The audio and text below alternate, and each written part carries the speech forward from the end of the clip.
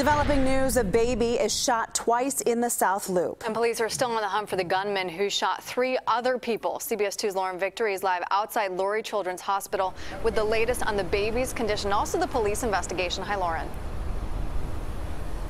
Hi, Aaron and Marissa. This baby is just six months old. He has two bullets in his little stomach.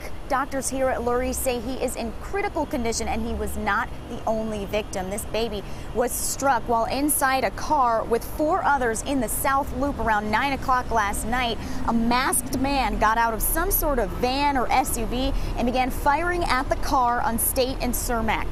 At least two evidence markers lay in the street very close to the Cermak McCormick Place Green Line station.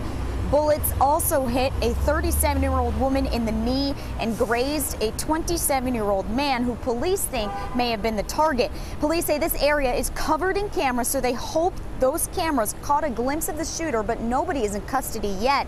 Preliminarily, investigators say this South Loop quadruple shooting may have started as a car chase about a mile and a half away from the gunfire.